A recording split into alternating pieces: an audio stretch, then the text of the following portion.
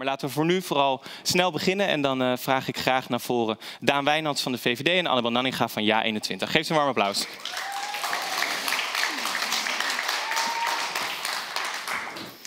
Welkom allebei. Fijn dat jullie er zijn. Dankjewel. U bent de afgelopen vier jaar ook duo-raadslid geweest hè? Zeker. voor de VVD. Dat was vier jaar oppositie. Ja. Daarvoor vier jaar coalitie. Het is bekend dat jullie vier jaar geleden wilden besturen. Als, het aan u ligt, zou u weer willen besturen? Is het tijd dat de VVD weer in het stadsbestuur komt? Kijk, het is een hele terechte vraag inderdaad. En ik, ik, ik denk ook dat uh, de afgelopen vier jaar wel heeft laten zien... waarom de VVD in het stadsbestuur gewoon heel erg noodzakelijk is. Okay. Want het was dit stadsbestuur wat natuurlijk heel erg knetterlinks was. Dat is een term die uh, mevrouw Nanninga en ik ook zeker wel delen, denk ik. Uh, een stadsbestuur van GroenLinks, D66, PvdA en SP... wat eigenlijk een heel gepolariseerd klimaat ja. heeft geschapen in Amsterdam. En eigenlijk ook, natuurlijk deels door corona... maar eigenlijk ook voor Amsterdam gewoon heel erg weinig voor elkaar heeft gekregen. Dus en dat laat de zien, VVD. de VVD is de okay. partij die dingen wel voor elkaar kan ja. krijgen. Tegelijkertijd was er ook, hè, uh, is, is, is, waren mensen ook een beetje op zoek naar de positiebepaling van de VVD. Want aan de ja. ene kant Amsterdam uh, in, in het verleden stemt overwegend nog steeds uh, progressief of wat linkser, als je de meerderheid ziet. Um, en, en de JOVD schreef een brief dat uh, de VVD wel een wat liberaler geluid uh, mocht laten horen in de campagne. Wat hebben jullie daarvan meegenomen? Nou ja, de VVD die keek naar één debat uh, en wist daar meteen een hele analyse uit te trekken. Maar ik denk dat onze uh, lijsttrekker Claire bij de, het invullen van de stemwijzer wel heeft bewezen dat ze helemaal niet zo links is als, uh, als haar wordt uh, verweten. Want ze kwam uit op haar eigen partij. Ze kwam uit op haar eigen partij en, wel, ja. en ook met volgens mij Ja21 als tweede partij, dacht ik. Oké. Overigens kwam Ja21 ook bij mij als tweede partij eruit. Maar de derde partij, een beetje vreemd, dat was de feestpartij van de lachgaskoning Dennis met hetzelfde percentage als Ja21. Ja, dus ja. of het nou aan mij ligt of van Ja21, dat zullen we moeten zien. Oké, maar, is- maar, maar u herkent zich daar dus eh, in ieder geval een, niet in, in wat daar gezet wordt. Oké, gaan we naar Anne Nanninga. Hartelijk welkom. Ja, Fijn dat u er ook bent. Ehm, vier jaar geleden stond u hier ook. Eh, toen we- eh, vanuit een andere rol, vanuit Forum voor Democratie. Nu staat u hier namens Ja21. En eh, dit weekend, eh Rutger Groot-Wassink op Twitter... GroenLinks wil niet met Ja21 besturen. Net zoals vier jaar geleden, Ja. Toen u hier stond, eh, dat ook gezegd werd. Wat, wat dacht u toen u dat las? Nou, ik denk dat Rutger Groot-Wassink niet bepaalt wie er aan zet is na de verkiezingen. Ik denk dat nog geen Amsterdammer zijn stem heeft uitgebracht. Nee. Dat we dat eerst even rustig met elkaar eh, gaan afwachten. Ja. En eh, ja, goed, de volwassenen in de Kamer komen er dan wel uit met elkaar, denk ik. En ik was vandaag nog eh, op het debat voor de regeringsverklaring in eh, Den Haag. Ik zit ook in de Eerste Kamer.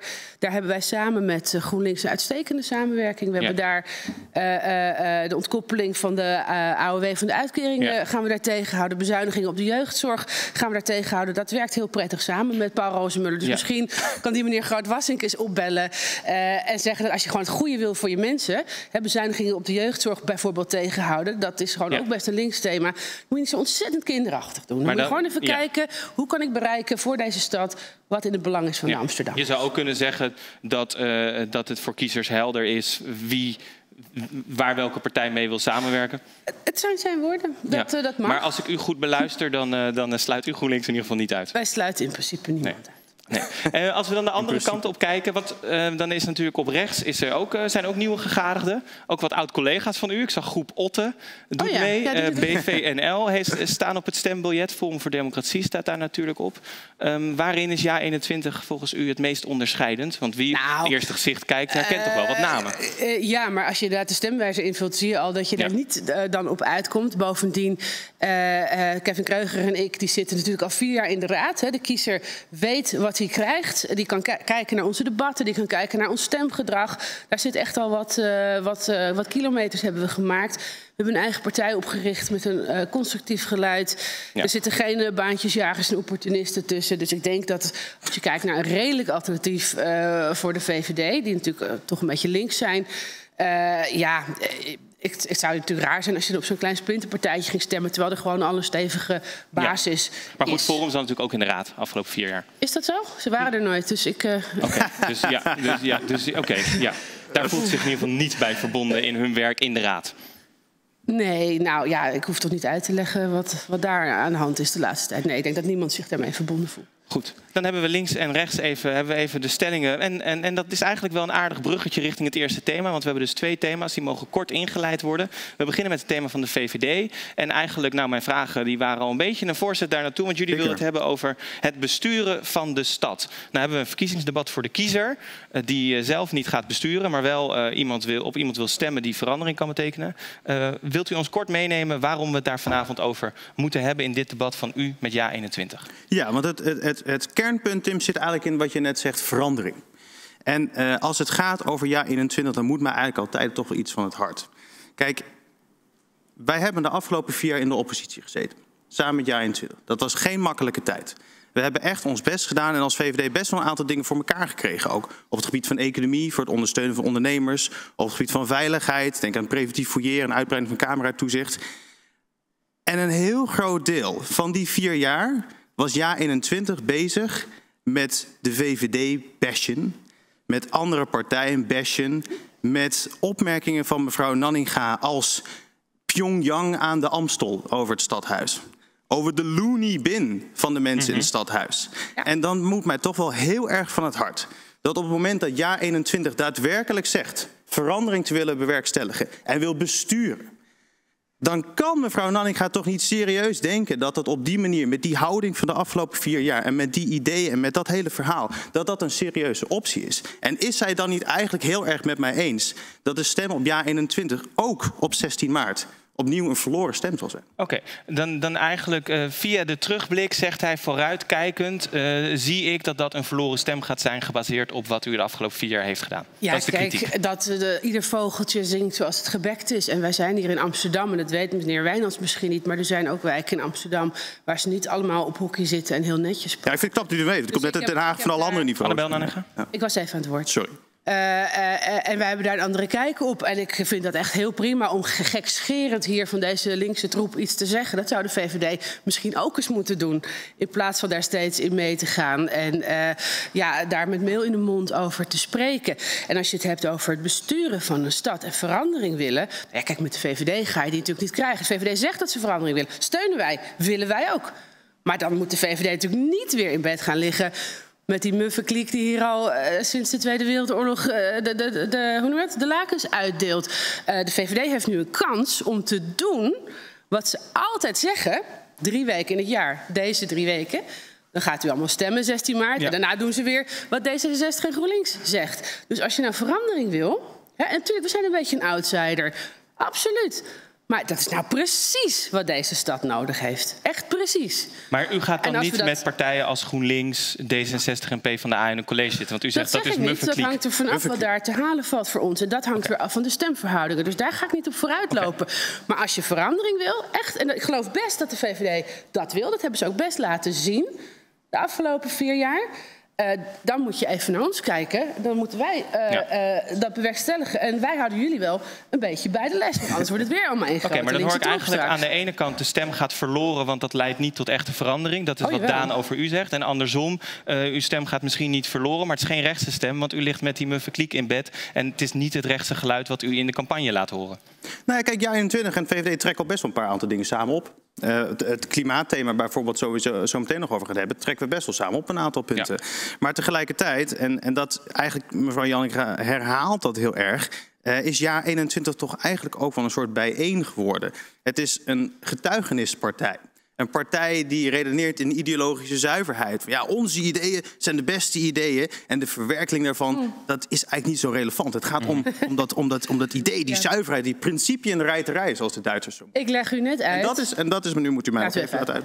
En dat is eigenlijk zo tragisch aan ja 21, zou wel ik willen zeggen. Er zijn best een aantal goede punten. U noemt ze zelfs rechts. Ik heb er geen enkele moeite mm -hmm. mee om mezelf ook zo te noemen. Alleen er is geen haar op mijn hoofd die eraan denkt om ja 21 te stemmen. Omdat ik heel goed weet, op het moment dat ik op ja 21 stem... dan is dat een verloren stem. En dan zal er geen enkele vorm van verandering worden bewerkstelligd. Okay. En ik denk ook ja. dat heel veel Amsterdammers het eigenlijk ook wel weten. Het zou natuurlijk ook heel raar zijn als u overwoog op ja 21 te stemmen. Dan vraag ik ja. me af wat u hier doet. Uh, wat betreft het ideologische, ik, uh, ik leg u net notabene uit... dat wij uh, op nationaal niveau met GroenLinks in de Partij van de Arbeid samen kunnen optrekken. Dus ik weet niet wat u nou bedoelt met ideologische zuiverheid. Ik kan u garanderen dat ik uh, die partijen. Uh, dat dat niet onze uh, vrienden zijn op heel veel punten. Trouwens hebben we dat in de Raad ook wel eens gedaan. Dus ik, ik, ik herken mij daar echt totaal okay. niet in. Um, ja, nog even ingaande op het punt van. Hè, dat is natuurlijk het frame wat de VVD probeert op te tuigen. Hè, een verloren stem. Nou, het is maar geen frame, het is de realiteit. Nee, het is de realiteit van de afgelopen vier ja, jaar. En ook kunnen poneren. En daar kan ik even op ingaan dat, je, je, kan het zo framen natuurlijk, maar dat hangt ook van de VVD af. Kijk, je kan op de VVD stemmen, dan heb je kans dat ze in de coalitie komen. Maar dat is natuurlijk ook een verloren stem. Als jij stemt op uh, uh, minder energietransitie, minder klimaatgekte, ja. et cetera, is het ook een verloren stem. Ja. Want zodra de VVD in de coalitie komt, laten ze het allemaal weer los. Okay. Dus daarom zeg ik, en dat is wat ik ook probeer te, te, te over te brengen hier aan de VVD, dat we kunnen het met elkaar oneens zijn, we kunnen een beetje kibbelen. Maar uh, de constructieve houding tussen ons twee is essentieel als we mhm. deze stad echt een beetje uit dat extreem linkse gedoe willen krijgen. Ja, maar het dus is kom niet, niet bij mij aan. Maar, nee, maar mevrouw Nanninga, ik, ik ben het daarmee eens, maar het is niet de VVD die dat moeilijk maakt. Dat bent u. Oké, maar, dan, maar, maar, maar, dan wil ik toch voor de kiezer, want die denkt, ja, hoe moet ik hier chocola van maken? In die zin van, uh, die, dat, dat is de strategie en hoe we elkaar beoordelen. Maar tegelijkertijd, als jullie dan allebei zeggen... wij willen dat rechtse geluid zijn, wij willen dat rechtse geluid zijn... u wilt niet het rechtse geluid zijn? Nee, kijk, echt het rechtse geluid, dat is hoe JA21 zich neerzet. Prima. Hoe zou uw geluid noemen? De VVD is een liberale partij. Een liberaal geluid? JA21 is geen liberale partij. Okay. Dat is bijvoorbeeld ook weer aan te zien aan de stemmen van hun... over bijvoorbeeld het beschrappen van de bedenktijd van abortus. Dat was JA21, was daar okay. tegen. Nee, dat is niet waar. Dat is een leugen. Daar hebben wij verdeeld over gestemd. Daar hebben, hebben we niet tegen gestemd. Oké, nou, verdeeld een conservatief liberale partij. Wel ja. even bij de feiten blijven. Okay. Uh, uh, dat, dat zeggen we ook, hè, conservatief liberaal. Ja. Het woord zegt het al een beetje. Daar mag in onze fractie vrij over worden gedacht. Dat gaat ook nog in de Eerste Kamer aan de orde komen. Daar geldt hetzelfde voor. Uh, dus dat is absoluut maar, waar. Hebben we niet tegen. Maar dan, maar dan, wil ik, dan zit ik toch een beetje te zoeken naar um, wat betekent het dan? Stel dat jullie allebei zouden meebesturen, want dat is het thema van deze ronde, waar jullie absoluut aan vast zouden willen houden. Want wie weet, uh, uh, een coalitie komt samen, daar zullen meerdere partijen in zitten. Als jullie allebei zeggen voor de kiezer moet het geen verloren stem zijn. Wij gaan de VVD helpen. Wij, gaan de, okay. wij zien de VVD met, met, met spandoeken in, in wijken waar windturbines komen. Een beetje bij de microfoon. Geen, geen windturbines, ja, geen windturbines. Ja. En dat doen ze niet. Hè. Ze stemmen voor, ze hebben de afstandsnormen opgegeven, et cetera. Nou, ik, loop, ik loop een beetje ja, vooruit. vooruit het volgende thema. Punt. Ja. Dus uh, waar we echt lekker een beetje de VVD kunnen bijstaan. Want iedere keer als je even niet oplet, hop, dan zitten ze weer uh, met D66 en GroenLinks in de weer.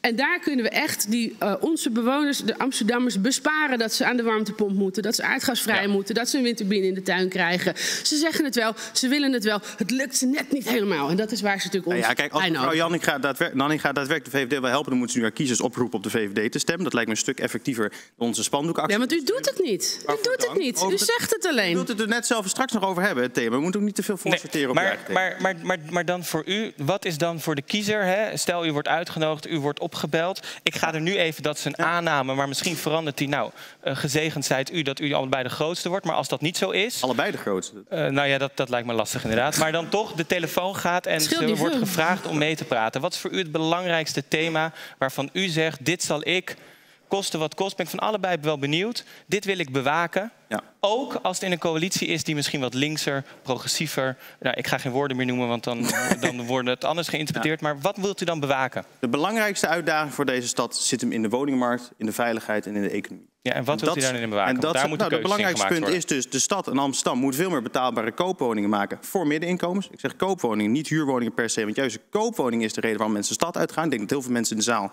hier ook dat echt wel zullen herkennen. De jaar 21 is het hier overigens ook okay. eens. Absoluut. kennen we gewoon. 30, 50, 20 ja. is dat ja. toch? Uh, 30 sociale huur, 50 midden, ja, en dan voor ons inderdaad gewoon een heel groot deel eh, betaalbare koopwoningen. En dat is echt heel erg belangrijk. En we zullen ook onze ondernemers veel meer moeten omarmen. Dat betekent dat we deze stad veel aantrekkelijker moeten maken voor bedrijven. De afgelopen vier jaar is er eigenlijk okay. door de coalitiepartij heel veel aan gedaan om ondernemen juist heel moeilijk te maken in deze stad. Ook heel duur te maken in deze stad.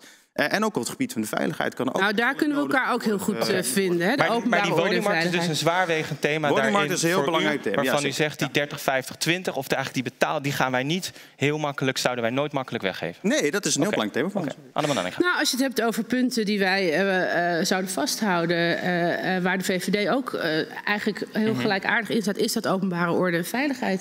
Ja. dat is hier echt eh, te, te soft. Preventief fouilleren hebben we ons allebei hard voor gemaakt. Uh, uh, de, de, ja, de, de iets, ja. iets minder. Ja, maar, maar goed, iets dat ligt bij de burgemeester en, ook. En, die en daar iets net... meer ja. handhaving. Jawel, maar daar heb je als raad natuurlijk wel invloed op. En daar hebben we ook heel erg samen in, in opgetrokken de afgelopen periode. Maar wat is dan, en daar kunt u dat we concreet ook... maken? Wat is dan het belangrijkste? Dat u zegt, dat willen wij sowieso vasthouden. Als ze opbellen, dan zeg ik, ja, maar dit moet wel eerst even... Nou, dat, ja, openbare orde en veiligheid is natuurlijk een heel breed issue. Ik, ik kan er toch niet één dingetje uit gaan pikken. Dat varieert van dat je zorgt dat je straten er netjes en veilig uitzien. Dus geen enge bosjes en kapotte lampjes. Tot, tot bestrijding van ondermijning. Ik kan daar niet nu. Uh, nee. Nee, maar ik, ja, het zou ik, een absolute ja. prioriteit. Maar ik denk niet dat er een partij is die zegt... wij zijn niet voor schone bosjes en we willen niet Nee, maar het hangt allemaal bestrijden. samen. Het gaat om de visie die je hebt op hoe je criminaliteit bestrijdt. En dat is natuurlijk in deze stad... Uh, uh, naar mijn smaak, en ik denk dat de VVD, heb ik dat ook wel horen zeggen, uh, iets te veel gericht op uh, sociotherapie en uh, bloemetjes kleuren. En iets te weinig op gewoon dus mensen confronteren met de gevolgen van hun handelingen. En dat is een mentaliteit. En dat is niet een concreet punt. En, en een budget wat misschien dan omhoog moet. Onder meer, dat hangt ermee samen. Ja, tuurlijk. Okay. Ja. Misschien is dat voor deze ronde. Oh ja, wilt u wel met jaar 21 samenwerken? Wij sluiten hier eind 20 niet uit. Oké, okay, nou dan, uh, dan hebben we dat in ieder geval toegevoegd. En u wilt ook nog wel met de VVD samenwerken. Nou, ja. Ik vind sowieso dat hele maar... uitsluiten ja, precies, nogal dat is goed. ook Dat is ook allemaal hartstikke vroeg. Maar toch, um, um, nou ja, de, als de vraag op tafel ligt, ligt die op tafel. Nou, en we hebben het antwoord. We gaan deze ronde in ieder geval beëindigen. Dan gaan we naar uw thema toe. We namen al een voorschotje daarop. Klimaat en energie. En u wilde daar de VVD op bedebatteren.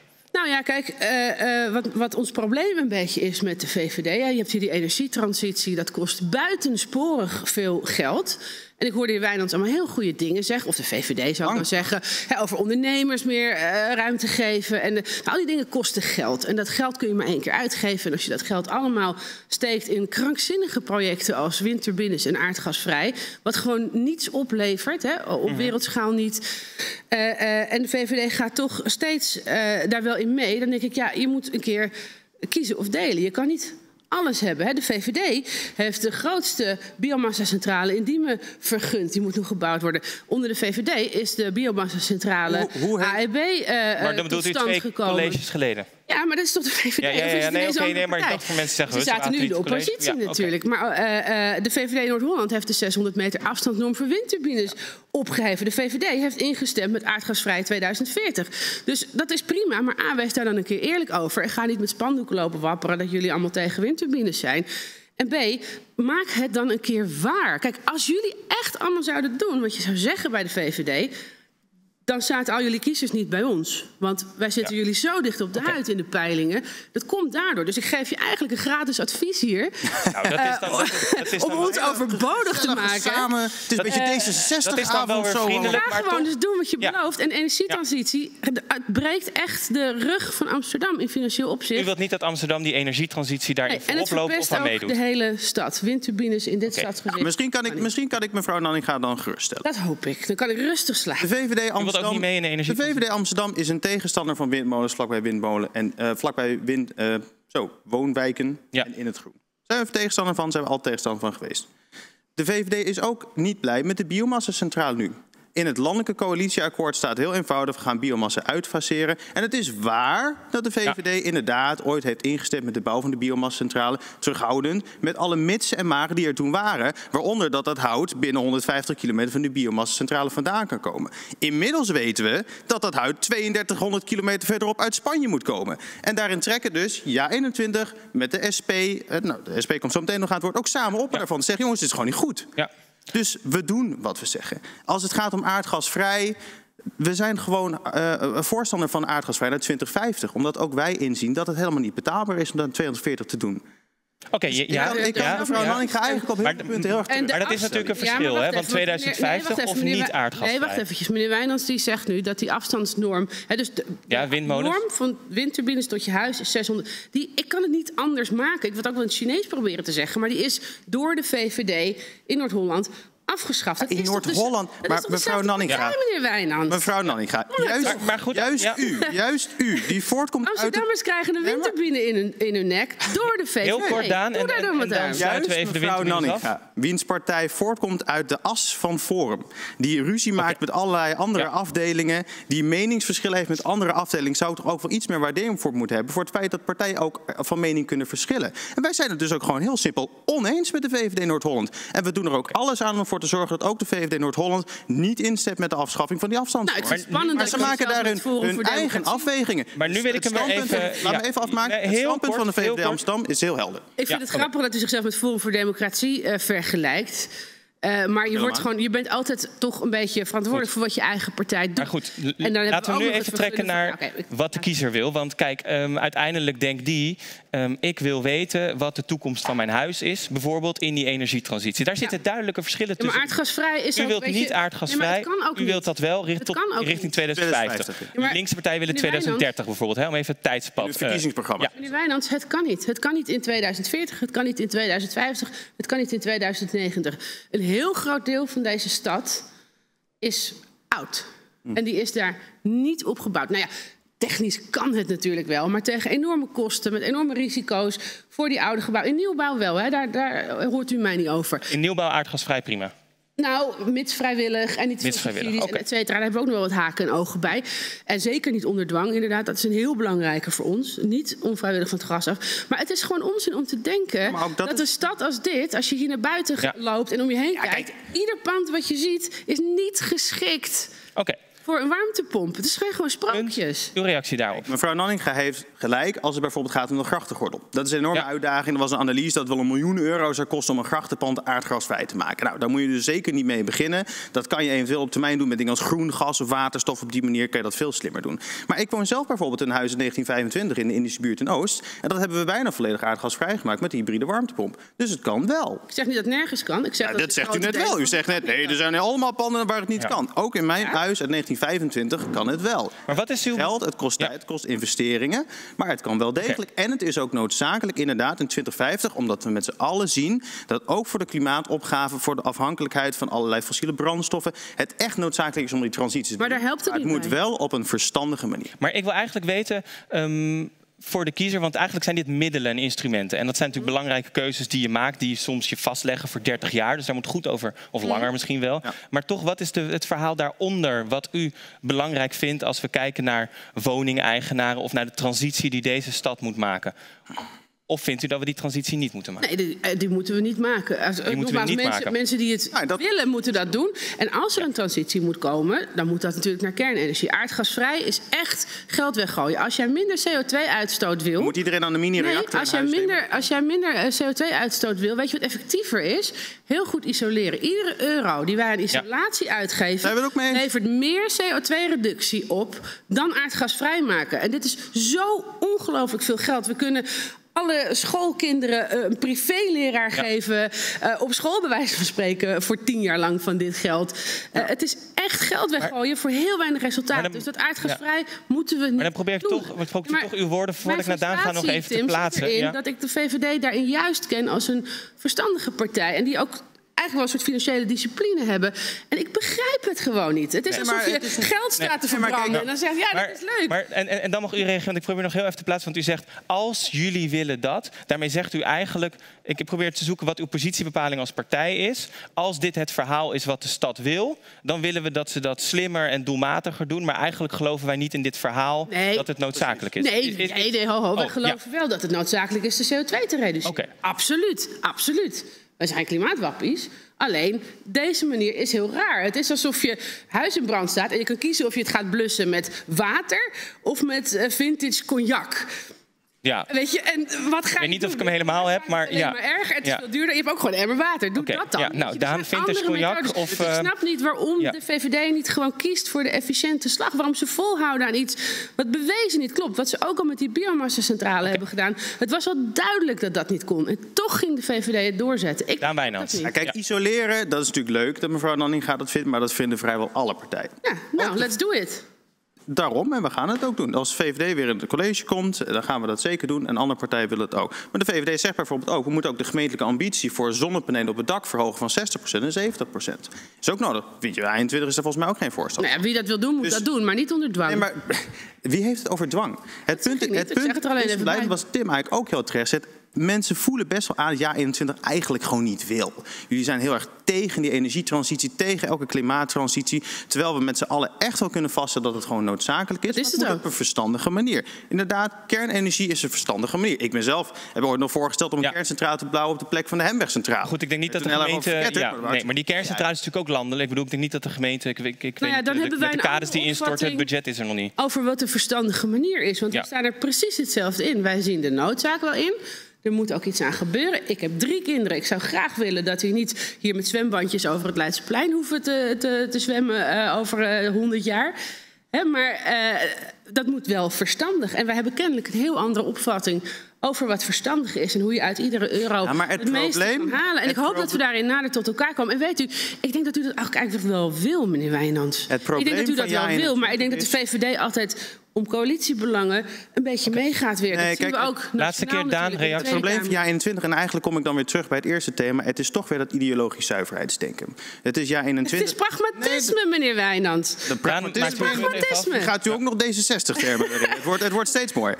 Nee, dus jaar 21 is eigenlijk die partij die toch heel erg zegt... we willen dit eigenlijk om niet te vinden het spannend, we vinden het eng. Eh, terwijl juist de VVD met verstandige oplossing komt voor klimaat en energie. Geen windmolens bij, wij- bij woonwijken. Ja, maar misschien in de haven, toch? Dat is... In de haven is het prima, waar mensen er geen last van hebben, geen enkel probleem. Die transitie is gewoon noodzakelijk en dat moet op een verstandige manier. Eens. En niet op de tegen, tegen, tegen Nee. manier van Ja, ja. oké, maar we moet staan nu... verstandige Tot slot, tot En slot. dat begrijpt ik, u. ik, ik wil van u beiden horen wat u dan richting de kiezer zegt. Van als, als een een stem op ons, dan gaan wij ons inzetten dat u dit gaat merken in het klimaat- en energiebeleid van Amsterdam. Wat zou het eerste concrete zijn? eerste concrete ding is dat eh, er geen windturbines komen in en rond Amsterdam. Dat is lelijk, het is ongezond, dat bromgeluid, die, die, die, die flitsen, die stroboscopen.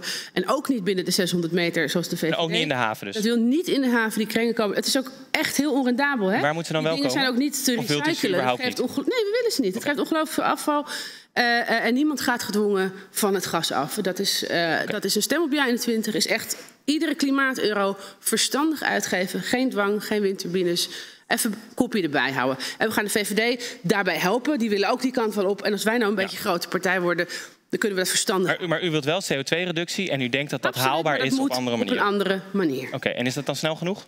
Ja? Goed, nu, als we nu beginnen met een schep in de grond te zetten voor een kerncentrale... dan schiet het lekker op. Ja, ja, maar ik denk niet dat de gemeente Amsterdam dat Nee, maar dat gaan we landelijk regelen. Oh, dat gaan we landelijk. Oké, ja, Daan Wijnands. Nou ja, ja. precies mijn punt. Ik hoor weer alleen maar dingen die jij 21 niet wil en niks over wat Nou, dat is niet helemaal ik waar. zeg Ik net echt wel dingen, dingen maar... die ik wel wil. Maar, Maar wat wilt u dan doen aan De de VVD wil een grootschalig isoleren van woningen. Eh. Zonnepanelen op alle daken. Dat is ontzettend belangrijk. Daar gaan we mensen bij helpen, ook met subsidieregelingen. Eh, aardgas vrij op een verstandige manier inderdaad in 2050. Eh, en we moeten ook niet naar Amsterdam kijken als een soort autarkie. Alsof alle energie in Amsterdam... Pardon, autarkie, zelfvoorzienend, toch? Zelfvoorzienendheid, Ja, ja. alsof in Amsterdam alle energie moet worden opgewekt. Dat is natuurlijk ook helemaal niet zo. En eh, de energietransitie is ook gewoon een enorme kans. Het biedt kans op heel veel duizenden groene banen, een nieuwe economie, waardoor ook Amsterdam op de toekomst geld kan blijven verdienen. En dat moeten we ook niet onderschatten, want dat is ook een heel belangrijk aspect hiervan. dat klopt. Dat, daar bent u het mee eens. Nou, Nou, dat, dat kan er wel in zitten, maar dan wel aan verstandige spullen uitgeven. heel goed. We, we gaan in ieder geval afronden hiermee. Eh, ik wil jullie hartelijk danken. Anne dan Dankjewel. Nanninga, Daan Wijnands. Mogen we daar weer plaats gaan nemen?